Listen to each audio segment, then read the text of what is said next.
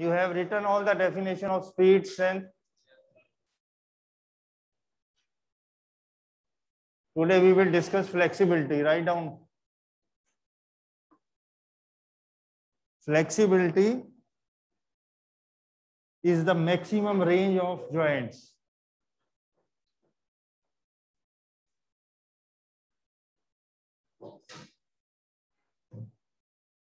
Simple. Flexibility is a maximum range of joints जो आपके joints की कितनी ज़्यादा रेंज है दैट इज़ योर फ्लेक्सिबिलिटी आपका ज्वाइंट्स की जो मूवमेंट जितनी ज़्यादा होगी, वो आपकी फ्लेक्सिबिलिटी शो करती है। जितने आपके जिमनास्टिक के स्विमर्स हो गए, उनकी जिमनास्टिक उनकी रेंज ऑफ़ ज्वाइंट जैसे हम हाइपर ये आपको पता है flexion extension this is a movement anatomy movement of the body when we angle जो हमारा इंक्रीज होता है, जब हम आर्म को एक्सटेंड करते हैं, इसको बोलते हैं extension flexion. Close to angle जब आपका दो ज्वाइंट्स का बोन का एंगल कम होता है, उसको हम बोलते हैं क्या? फ्लेक्शन एक्सटेंशन हाइपर एक्सटेंशन जो आपके जिमनास्ट हैं, उनका क्या होता है, अब हम ऐसे पीछे हैंड को, ऐसे पीछे लेके जा रहे हैं ना, ऐसे ऐसे, वो पीछे जोड़ देंगे दोनों हैंड क्योंकि उनको सारा स्टार्टिंग से ही उनका जो ट्रेनिंग चलती है that is on flexible body आपकी जितनी फ्लेक्सिबल होगी, उतनी आप मूवमेंट्स करेंगे। जितनी डिफ़िकल्ट मूवमेंट आप एयर में करोगे, उतने आपको मार्क्स होते हैं। ठीक है? आपने देखा होगा फ्लोर फ्लोर पे ऐसे आते हैं ना, भाग के वो समर शॉट मारते हैं डिफरेंट एंगल से घूमते हैं। अगर आपकी बॉडी फ्लेक्सिबल होगी, तभी आप कर पाओगे। अदरवाइज़ आप क्या होगा? You will fall down and get injured आप में जब भी वो कोई इवेंट करते हैं तो उसमें जो उनकी लैंडिंग होती है, वो जब भी जैसे भाग के आते हैं, दोनों पैरों पे ऐसे स्टेबल हो जाते हैं। या एक लेग आगे होगा, एक पीछे होगा। वो उनकी लैंडिंग वहाँ पे देखते हैं। हर इवेंट में जो आपकी लैंडिंग होगी, एक आपकी डिफिकल्टी इन एयर जो आपने एयर में डिफरेंट एंगल बनाया। कभी ध्यान से देखना आप जिमनास्टिक वो एयर में डिफरेंट एंगल हर इवेंट में आपका फ्लोर एक्सरसाइज हो गया। बार में हो गया, रोमन रिंग हो गया, ठीक है? फिर पामेल होता है, उसके ऊपर जम करके वो डिफरेंट डिफरेंट एंगल से आपको क्या करेंगे? अपनी डिग्रीज डिफिकल्टी शो करेंगे। जितनी आप डिफिकल्टी ज़्यादा शो करोगे, उतने आपके मार्क्स अच्छे होंगे। उसमें वो क्या देखते हैं? लैंडिंग एयर में आपका डिफरेंट डिफिकल्टी होगी और लैंडिंग अगर आपने एयर में अच्छा किया है बट आपकी लैंडिंग खराब हो गई है तो आपके डिडक्शन हो जाता है। वहाँ मार्क्स का दिया होता है उन्होंने then they will deduct your marks तो फ्लेक्सिबिलिटी आपने you have seen China Korean ठीक है, एक आपका वर्ल्ड की बहुत अच्छी जिमनास्ट नादिया। उसका वर्ल्ड में अभी तक रिकॉर्ड है टेन आउट ऑफ़ टेन उसको रबड़ की गुड़िया बोलते थे। टेन आउट ऑफ़ टेन मतलब जस्ट लाइक रबड़, जहाँ मर्ज़ी मोड़ दो, जो मर्ज़ी कर लो। अगर आप कभी आपने देखा हो ओलंपिक्स में या कहीं पे जिमनास्टिक या कहीं वैसे भी देखना तो आप उनका, उनकी बॉडी देख के यू विल भी मतलब आप बोलेंगे ये क्या कर रहे हैं? और जो रोमन रिंग है, उनमें स्ट्रेंथ वहाँ पे क्या होता है? रोमन रिंग दो रिंग को पकड़ना है आपने। उसको बॉडी को ऊपर लेके जाना है। वहाँ पे एल शेप बनानी है 90 डिग्री का एंगल बनाना है। और आपके रिंग हिलने नहीं चाहिए। आप ये देखो कितना कंट्रोल होता है उनका। रिंग पे जब आप चढ़ते हो, पकड़ोगे तो नेचुरली वो हिलेंगे। वो उनके बिल्कुल स्टेबल होता है। उसी को वहीं से ऊपर अपनी बॉडी को ले जाएँगे डाउनवर्ड ले जाएँगे शेप डिफरेंट बनाएँगे, ऊपर फिर उसको स्विंग लेके लैंड करेंगे। तो दैट इज़ मतलब वन ऑफ़ द जिसको हम बोलते हैं mother of all games that is gymnastic swimming और जिमनास्टिक अगर आप बच्चों को छोटे होते करवाओगे तो उसको किसी भी गेम में डाल लो आप। जब आपकी बॉडी फ्लेक्सिबल होगी है then you will do any activities कोई भी आपकी डिफ़िकल्ट से डिफरेंट डिफ़िकल्ट आपकी टेक्निक्स हैं, कोई स्किल्स हैं यू कैन डू इजीली आपने देखा होगा फॉरेन में क्या होता है? मोस्टली छोटे बेबीज को पानी में। पता है ना? और आपने यहाँ पे आधो ने स्विमिंग पूल नहीं देखे होते। दिस इज़ फैक्ट अगर आप यहाँ पे देखो, आधे बच्चों ने आपके स्कूल में भी स्विमिंग पूल नहीं देखा होगा। This is the main fact वहाँ पे इंफ्रास्ट्रक्चर इतना अच्छा है कि हर बच्चे को स्विमिंग आती है। हर बच्चे को उन्होंने छोटे होते पानी में डाल देना। और स्विमिंग क्या है? स्विमिंग में भी one of the best exercise for your whole body आप स्विंग भी कर रहे हो, आपका ज़ोर लग रहा है इंडोरेंस भी हो रही है लेग्स की एक्सरसाइज भी हो रही है, ठीक है? पूरी बॉडी इन्वॉल्व होती है उसमें और आपने स्विमर की, आपका जो जितने भी वर्ल्ड क्लास स्विमर्स हैं, अगर आप उनको देखो तो उनकी जो बॉडी है वो डिफरेंट ही होगी। बॉडी की जो शेप होती है जिमनास्ट को आप देख लो। इसीलिए हम बोलते हैं कि जब बच्चे को किसी को गेम में डालना है तो उसको स्विमिंग और जिमनास्टिक आनी चाहिए। ये नहीं कि हम उसको बहुत अच्छा प्लेयर बना रहे कर रहे हैं but at least one should know पानी एक ऐसी चीज़ है, आपको वहाँ से हल्का सा स्विम करना आना चाहिए। ठीक है? कभी भी कभी भी लाइफ में कहीं भी कुछ हो जाए। आपने देखा ना को सिंगर था कौन सा इंडियन आइडल में कहाँ पे वो बड़े हाई लेवल पे चला गया था देन स्विमिंग कर रहा था, वहीं पे बॉम्बे बॉम्बे में कहाँ पे गया था वो। तो मतलब ये आनी चाहिए आप, और इसमें हमने क्या करना है, और सबसे बेस्ट है फ्लेक्सिबल आप कैसे कर सकते हो अपने आप को? आप डेली एक्सरसाइज करो, आप यहाँ खड़े हो, अपने टोज को टच करो, पहले सीधे करो, फिर इसके ऊपर से, इससे जब आपके फिंगर्स टोज से नीचे जा रहे हैं इट मीन्स कि आपकी लोअर एक्सट्रीमिटी वेरी गुड ठीक है, पीछे फ्लेक्सिबल वाली एक्सरसाइज करो, अपना हैंड ऐसे पीछे पकड़ के देखो। पकड़ लेते हो बोथ हैंड ऐसे एक से होता है ना, दूसरे से होगा नहीं। हाँ ये मतलब ये सब में ये कॉमन है, देखो। आप सारे जितने भी सब पे टच कर लो, एक हैंड को बड़े इजिली सारे टच कर लेंगे। दूसरे से इट विल डिफ़िकल्ट बट अगर आप रोज प्रैक्टिस करो तो आप कर लोगे। ठीक है? सेम आप ऐसे बैठ नीज को टच करो अपने। आधों के नहीं होते हैं। जिनके यहाँ पे फैट्स है, वो तो कभी भी नहीं कर सकते।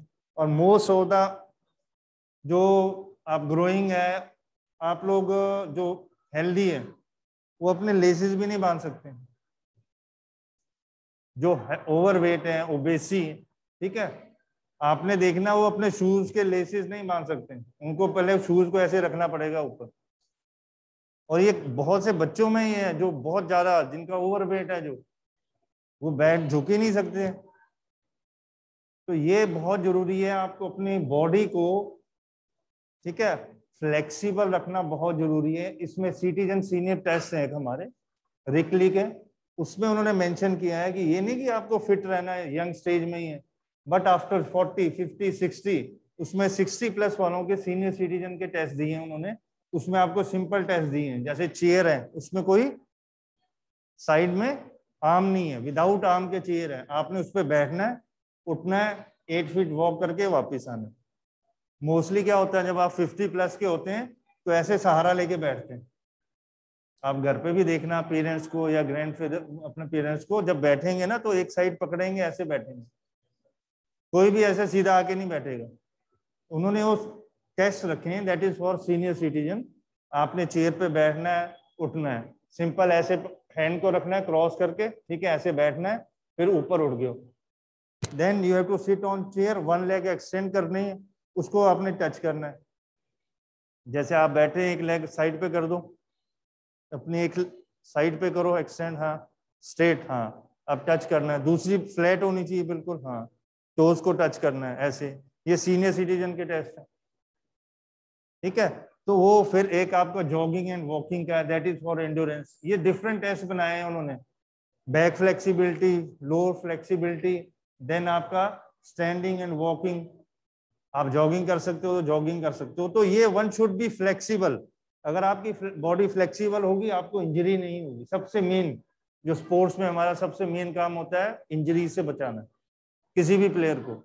अगर आप फ्लेक्सिबल हो गए आप डाई मारोगे उठ जाओगे, जहाँ पे आपकी जो बॉडी है ना, अब हमने कोई डिफरेंट आपने कहीं देखे होंगे प्लेयर्स उनकी अपनी technique they invent their own technique of playing वो अपनी टेक्निक कैसे बनाते हैं, वो मास्टरी कर लेते हैं स्किल के स्किल पे। अब जैसे हमने बॉल फेंकी है, आपने देखा होगा एल्डरसन को देखा, उसी स्पॉट से उसकी बॉल अंदर आती है, उसी स्पॉट से बाहर चल जाती है। It is quite difficult to जज अभी देख रहे हो किसी ने मैच देखे हैं? इंग्लैंड का। उसकी जो सबसे डिफ़िकल्ट उसको खेलना इसीलिए होता है कि उसी ने सेम अपना एंगल से, वहीं से बॉल को अंदर लेके आता है, वहीं से बाहर लेके जाता है। ठीक है? तो ये आपकी जो मास्टरी होती है किसी भी स्किल में, आपने उसको प्रैक्टिस कर कर कर कर, करके आपको क्या होता है? आपने some time we have a Bishan Singh Bedi spinner Venkataraghavan ठीक है? वो क्या करते थे? क्वाइन रख देना है, सिक्का, सिक्के पे बॉल फेंकनी। सिक्के पे बॉल फेंकनी, ये नहीं कि दस कोई बॉल लगेगी। एक्यूरेसी इतनी थी कि उनकी तीसरी, चौथी बॉल उस पर जाके लगेगी लगेगी। ठीक है, फिर वो क्या करते हैं? एक सिंगल स्टंप पे बॉलिंग प्रैक्टिस करते हैं। ये बॉलिंग प्रैक्टिस ये नहीं कि आपने सीधी बॉल मारनी है। टर्न के साथ, स्पिन के साथ, आपने बॉल को स्पिन करना है। स्पिन के बाद वो विकेट पे लगेगी। मीन्स कि you have a control on your spin आपने बॉल बैट्समैन को खिलानी है तो उसको एज कैसे निकालना है? अगर आपको पता होगी मेरी बॉल इतनी टर्न होगी, ये एंगल पे जाएगी, वो उसी हिसाब से आपके फील्डर होंगे। ठीक है? तो ये सारी चीज़ें होती हैं। अगर आपकी बॉडी फ्लेक्सिबल होगी, उतना ही आप इजिली इस काम को कर पाओगे। फर्दर इसका क्या है? इसमें we divided flexibility active and passive you write down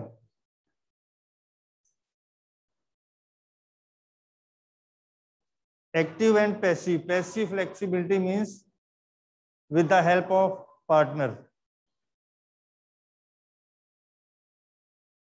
और एक्सटर्नल सिंपल है passive means with partner with the help of external जो आपको कोई और करवाएगा एक्सटर्नल हेल्प मिलेगी. Active means without partner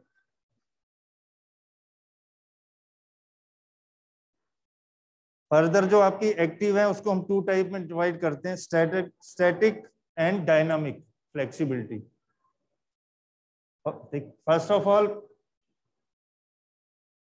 passive means partner simple passive means partner जो आप अपने आप इंडिविजुअल करते हो, उसको हम क्या बोलते हैं? एक्टिव एक्टिव को हमने टू पार्ट में आगे डिवाइडेड किया स्टैटिक एंड डायनामिक अब पैसिव का मतलब क्या? मैं यहाँ पे खड़ा हूँ, ठीक है? मैं बैंड कर रहा हूँ।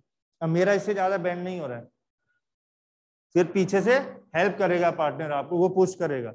आप थोड़ा और एक्सटेंड करोगे, और एक्सटेंड करोगे, वो और करेगा। और सबसे मेन चीज़ है, जब भी आपने स्ट्रेचिंग एक्सरसाइजेस करनी है, अपनी बॉडी को फ्लेक्सिबल करना है रेंज ऑफ़ मोशन को आपने बनाना है तो आपको क्या है, जहाँ पे आपको पेन हो, वहाँ पे स्टॉप बोल देना ठीक है?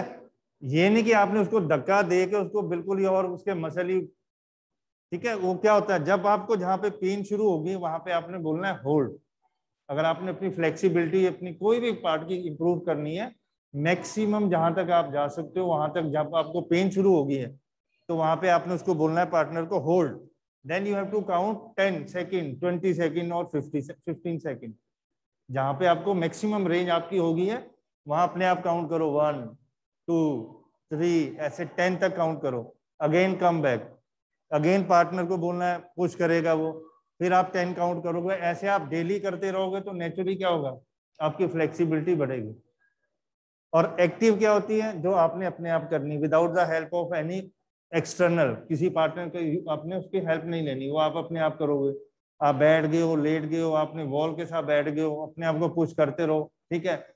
लेग को स्ट्रेच करो। जैसे हम ऊपर लेग्स को खींचते हैं, इसको नीज को लगाना है चेस्ट के साथ। साइड वेज हमने एक्सटेंड करना है, फिर ऐसे साइड वेज ऐसे हैंड करके लॉन्चिंग करते हैं, ऐसे side wedge that is for your growing and lower portion ये डिफरेंट जो स्ट्रेचिंग एक्सरसाइज है, इससे आपकी फ्लेक्सिबिलिटी बढ़ती है। फर्दर जो आपको स्टैटिक लिखाया है मैंने that is in a stationary position में जो आप करते हो। डायनेमिक की होती है फ्लेक्सिबिलिटी जो मोशन में होती है। जब आप मूव कर रहे हो it is in gymnastic basically ठीक है? वहाँ आपकी मूवमेंट भी होती है और आपकी फ्लेक्सिबिलिटी भी होती है।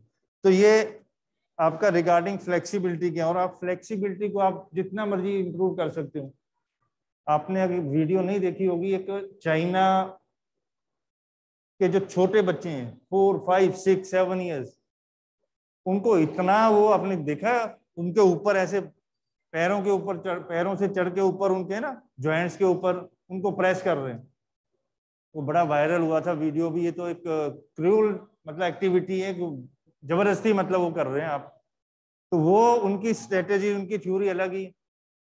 उनका बच्चा तेरह, चौदह, पंद्रह, सोलह साल में ओलंपिक में मेडल ले जाता है। वो इसी करके उनकी जो ट्रेनिंग है, वो बहुत छोटी एज से शुरू कर देते हैं। और इतना अच्छा उनका इंफ्रास्ट्रक्चर है डिफरेंट कोचिज रखे हैं, हर बंदे पे, एक बच्चे के ऊपर वो सारा पूरा कंसंट्रेट करते हैं। जहाँ से उनको पता लग गया कि इसमें पोटेंशियल है तो वो उसको छोड़ेंगे नहीं। और बहुत हार्ड ट्रेनिंग होती है। कई कोचिज ने कॉन्ट्राडिक्शन भी हुई है कि इतना बच्चों को बहुत ज़्यादा लोडिंग है, इससे ये हो जाएगा, वो हो जाएगा बट उनका अपना ही सिस्टम है। और तभी आप देख लो कितने मेडल ले रहे हैं वो। ठीक है? उनके जो मेडल टैली आप देख लो, कुछ गेम की ऐसी है जहाँ पे वो किसी को आगे आने ही नहीं देते। नेक्स्ट इसमें लिखो coordination coordination ability coordination simple बेटा it is a coordination between your mind and body mind का जो सिग्नल आपको जाएगा, आपने ये काम करना है और आपका बॉडी उसको प्रॉपर करेगी दैट इज़ ए कोऑर्डिनेशन जितना अच्छा आपका कोऑर्डिनेशन होगा उतनी आपकी एक्टिविटी अच्छी जिसको हम बोलते हैं रिदमिक इकोनॉमिक और स्मूथ होगी। कोई भी इवेंट करने के लिए आपको ये ती, तीन चीज़ें बहुत ज़रूरी है। एक रिदम आपका होना चाहिए एक इकोनॉमिकली होनी चाहिए और स्मूथ रिदम में अगर आप कोई एक्टिविटी करते हो तो जैसे आपका रिदमिक एक्सरसाइजेज इन जिम्नास्टिक एक इवेंट होता है रिदमिक उसमें आपने देखा वो एक रिबन होगा, किसी के पास डिफरेंट टूल्स कोई भी वो ले लेते हैं, उससे वो अपनी ड्रिल्स करते हैं। ठीक है, कोई रोप स्कीपिंग से करता है। तो वो देखने में कितनी अच्छी लगती है। उनकी एक्टिविटी इतनी फाइन होती है स्मूथ होती है। इसका एक एग्जांपल आपने फास्ट बॉलर को देखा? उनके फुट स्टेप छप जाते हैं। When they are going in run up आप देखोगे वहाँ पे पूरे उनके निशान बने होते हैं। वो उसी, उनका जो रिदम होता है, जो उनका रनअप होगा, वो दैट इज़ वेरी स्मूथ और बहुत रिदमिक होता है। एक ही रिदम में वो भागेंगे, ये नहीं कि बड़ी तेज भी स्लो ठीक है? जो लास्ट राइड होगा, वो उनका, वो तो सबका फास्ट ही होता है।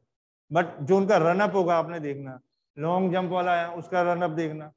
हर बंदे का, आप हाई जंप वाला है, जो उनका, आपका रनवे है, वो आपका इनिशियल जो स्टेज है, वो बहुत काउंट करती है। किसी भी आपने इवेंट में अगर जंप करनी है, आपके स्टेप गड़बड़ हो गए, फाउल हो जाएगा।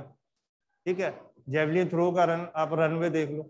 कोई भी किसी का देख लो, अगर आपका वो स्मूथ होगा इकोनॉमिकली होगा, आपकी आउटपुट उतनी ज़्यादा होगी। और वन शुड बी इकोनॉमिकली अगर आपने बहुत ज़ोर लगा के भाग रहे हो जी आप 50 मीटर से भाग के आ रहे हो, जो आपका लास्ट राइड है, आपका टेक ऑफ़ ही अच्छा नहीं है then there is no use वहाँ पे अगर प्रॉपर रिदम आपका होगा स्मूथ होगा तो आप क्या आपका जो रिज़ल्ट है वो ज़्यादा अच्छा आएगा, ठीक है? तो ये कोऑर्डिनेशन आपका बॉडी और माइंड के साथ होता है। कोऑर्डिनेशन एबिलिटीज मीन्स कि आपने कोई भी मूवमेंट करनी है, जैसे हम ड्रिल करते हैं फुटबॉल खेलते हैं जिग जैग रनिंग करनी है बास्केटबॉल खेलते हैं ओपोनेंट को भी देखना, अपनी बॉल पे भी कंट्रोल रखना है शूट भी करना है दैट इज़ कोऑर्डिनेशन साइमल्टेनियसली आपको हर अपना बॉडी को कंट्रोल करके कोऑर्डिनेशन में रख के अपने बॉल को भी कंट्रोल में रखना है ओपोनेंट से भी बचाना है शूट भी करना है तो वो आपकी कोऑर्डिनेशन एबिलिटी होती है, ठीक है? इसमें आपने वेलनेस का लिखा था वेलनेस के कंपोनेंट्स नहीं, ये फिटनेस के हैं। वेलनेस के अलग है वेलनेस के कंपोनेंट्स अलग है, लिखो, उसके हेडिंग लिख लो। ये फिटनेस के थे वेलनेस के लिखो। वेलनेस आपको पता है it is a deliberate attempt to gain physical mental and social ठीक है? वेलनेस में आपका फ़िज़िकल मेंटल सोशल सब कुछ आ जाता है। फ़िज़िकल में आपका सारा related to your physical exercise physical से आता है। Is an attempt to stay fit and fine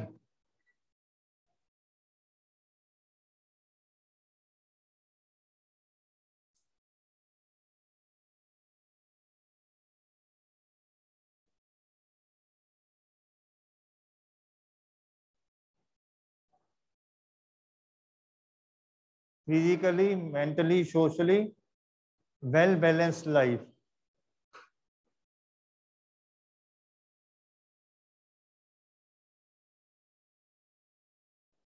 Write down the different component of wellness. Physical, physical wellness, social wellness,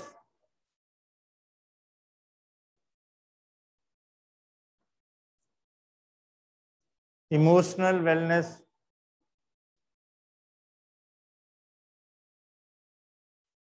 Then occupational.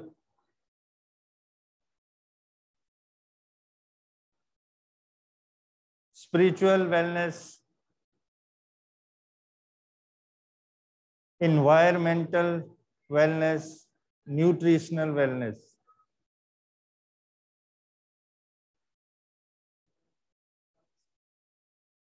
spiritual environment environmental nutritional nutrition balanced diet खाना पीना आपका कैसा है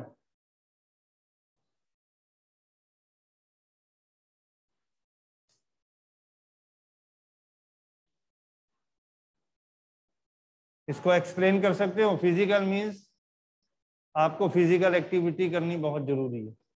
अगर आपने अपने को वेलनेस फिट रखना है फिजिकली और मेंटली और socially you should be very good adjustable for any society ठीक है? फ़िज़िकल मीन्स कि आपको जितना फ़िज़िकल एक्टिविटी करोगे नेचुरली आपकी हेल्थ अच्छी रहेगी, ठीक है? सोशल वेलनेस से रिलेटेड होता है। Socially man is a social animal ठीक है? आप कितना एडजस्ट कर सकते हो और सोशल लाइफ में अपना लोगों से, अपने आस पड़ोस में? ठीक है, आप बैठते हो, आप दोस्तों में क्लास में। That is social one should be a social ठीक है, ये नहीं कि आप जहाँ जाते हो, आप, आपकी किसी से बनती ही नहीं है। उसमें फिर क्या होता है, उस आदमी की कोई प्रॉब्लम होती है, जो सबको, दूसरों को बोलेगा, ये ठीक नहीं, ये ठीक नहीं। तो one should be a social जो अगर आप फ़िज़िकल एक्टिविटी करते हो, अगर स्पोर्ट्स करते हो तो आपको सोशल होना ही पड़ेगा। If you are playing any team game ठीक है? अगर आप रूल रेगुलेशन अपनी टीम से कोऑर्डिनेशन नहीं होगा आपका। अगर अपनी टीम के साथ नहीं चलोगे तो यू कांट मतलब टीम तो जाएगी, आप तो हराओगे टीम को। समटाइम यू हैव सीन कि कई इंडिविजुअल अपना खेलते हैं, अपने इंडिविजुअल को हॉकी है फुटबॉल है बास्केटबॉल है, जहाँ टीम गेम्स है टीम इवेंट्स है, आपको वहाँ टीम के साथ चलना पड़ेगा। ये नहीं कि आप अकेले बॉल लेके जा रहे हैं, जी, वहाँ जाके आपसे बॉल ओपोनेंट वाला ले जाता अगेन यू गो एक मूव भी अगर आप खराब कर दोगे टीम का तो टीम को लॉस हो जाता है. तो वन शुड बी सोशल वैसे भी आपको आस पड़ोस बैठना, उठना, जहाँ रहते हो, वहाँ पे आपको सोशली एडजस्टेबल होना, आना चाहिए. और क्या लिखा है? Mental mentally you should be strong ठीक है? मेंटली स्ट्रॉन्ग होना चाहिए. विल पावर होनी चाहिए. अगर आपने कोई एक्टिविटी करनी है नहीं भी एक दिन की या फिर छोड़ दी, अगर आप स्पोर्ट्स करते हो फ़िज़िकल एक्टिविटी करते हो, पढ़ाई करते हो तो you should be mentally strong ठीक है? जब तक आप मेंटली स्ट्रॉन्ग नहीं होगे तो आप कोई काम नहीं कर सकते हो। और विल पावर होनी चाहिए and one should be motivated आप में एक टारगेट होना चाहिए। आप पढ़ रहे हो, आप गेम खेल रहे हो, या एक्सरसाइज कर रहे हो, ठीक है? अपनी बॉडी को आपने फिट रखना है तो ये आपको, ये पता होना चाहिए कि मैंने सुबह उठ के पहले एक्सरसाइज करनी है या शाम को करनी है। तो one should be a clear mentally strong होना चाहिए आदमी को। Then emotionally one should be a control on your emotions ठीक है, ये नहीं कि बैठ के हार गए या कोई काम नहीं तो रोना शुरू हो गए ठीक है, रोना आ जाता है। बड़े बड़े आपने स्पोर्ट्स पर्सन देखे, जब वो टीम हारती है, अभी हॉकी में आपने देखा। ठीक है देर इज़ सम अपसेट हो जाते हैं, कभी हार जाते हैं तो वो आँसू अपने आप निकल जाते हैं। पर ये नहीं कि आप रोना बैठ के शुरू कर दो। या अगर आप कोई जीत गए हो छोटा मैच तो उसको खुशी मना मना के अगले मैच के लिए ज़ीरो हो जाओ। तो बैलेंस होना चाहिए आपके इमोशंस में, ठीक है? ये तो लाइफ के एक वो है कि हंसना, रोना, ये सब कुछ लाइफ का it's part of your life. खुशी भी होती है अच्छे में, ठीक है? दुख भी होता है। एंजॉयमेंट भी करते हैं जब कोई जीतता है। जब हारता है तो दुख भी होता है। बट उससे सीख सीख के आगे और करने वाला जो होता है, वो बड़ा प्लेयर बनता है। आपकी अपनी हार में भी अब, आप मैरी कॉम को देखा ना आपने? उसको दो राउंड में जजेस ने उसको आगे किया हुआ था। और जो उसकी ओपोनेंट थी, वो बाद में जब सारा कुछ पता लगा कि वो सारे मिले हुए थे। आपको पता फ़र्स्ट टाइम ऐसा हुआ कि पूरी ज्यूरी को उन्होंने डिस्कालीफाइड कर दिया। First time in the history of Olympic but वहाँ पे एक रूल ऐसा है कि आप प्लेयर को कॉल बैक नहीं कर सकते थे। इससे पहले ये रूल होता था, अगर कोई ज्यूरी के अगेंस्ट एक्शन होता है तो वो दोबारा इवेंट होगा। बट वो नहीं होता है। वो उन्होंने रूल चेंज कर दिया था। बट आपके वो सारी ज्यूरी चेंज की, उसमें बड़े हाई लेवल का कॉन्स्पिरेंसी थी। और उसके बाद भी वो सबसे मिली हैंड शेक किया, सबको विश करके, सबको करके आई है। ठीक है? वो दैट इज़ द मतलब ग्रेट इतनी अचीवमेंट के बाद भी अगर आप डाउन टू अर्थ हो ठीक है, आपके कॉलर अपनी जगह है, खड़े नहीं होते हैं। तो दैट पर्सन इज़ अ क्या होता है वो? लेजेंड्स जो बनते हैं, ऐसे नहीं बनते हैं। अब वो जो आपका स्विमिंग वाला है, जिसने वर्ल्ड में बाईस, तेईस, चौबीस गोल्ड मेडल ही लिए, अकेले ओलंपिक में। वो मतलब कई कंट्रियों से ज़्यादा मेडल उसके इंडिविजुअली है अब वो बोले कि मैं बहुत बड़ा हूँ, ये ठीक है, हर का टाइम होता है। जिन लोगों के पास टैलेंट है, जो गॉड गिफ्टेड है, या जिन्होंने बहुत वर्कआउट किया है अपना लाइफ में उनके रिज़ल्ट सामने आते हैं। बहुत से ऐसे प्लेयर्स हैं जो फोर्थ ओलंपिक खेल रहे हैं, खेले हैं, जिन्होंने खेला है अभी। चार ओलंपिक में पार्टिसिपेट करना itself a big achievement और वो चार चार, चौथे ओलंपिक में खेल रहे हैं। इट मीन्स कि उन्होंने कितने सालों से अपना एक मेंटेन रखा है अपनी परफॉर्मेंस को। अदरवाइज़ नेचुरली दूसरे साल के बाद, दो साल के बाद और आ जाते हैं। ठीक है? तो ये चीज़ें मेन होती है। देन आपका स्पिरिचुअल हो गया। ठीक है? ये वेलनेस के आपके हैं। इसको माइंड में रखना है। Physical fitness wellness it is a different than health related आपके आ जाता है नेक्स्ट ठीक है? Health related fitness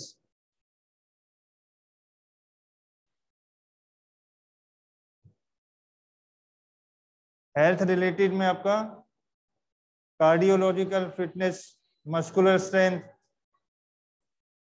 muscular endurance